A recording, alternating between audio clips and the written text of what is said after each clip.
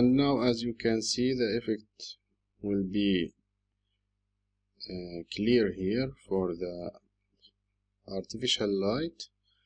And also we can come here double click and play with the layers.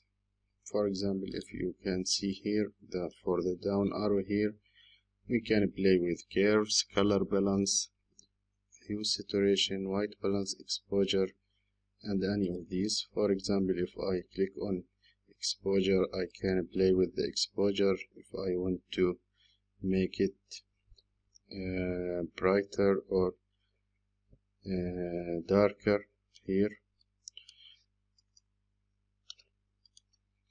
And also for the high, highlight burn you can play with this value for the contrast.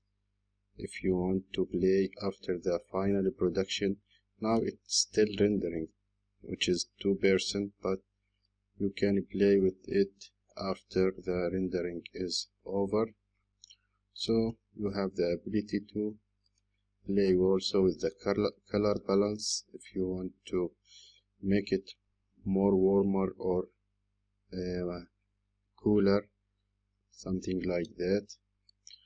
For the also the magenta green you can play with that as you want. And also for the curves you can play with the curves if you want. It will take time to load the curves now. So this is uh, also one source of uh, adjusting light here. So you can play with these properties in order to uh, adjust your image colors and also it affect the lighting.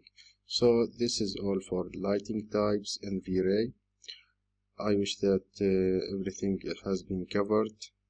Also as we use the interactive mode uh, previously in explaining the light you can also use the V-Ray Vision in order to have the real-time lighting uh, changes and choose what type of light you want to use in your project.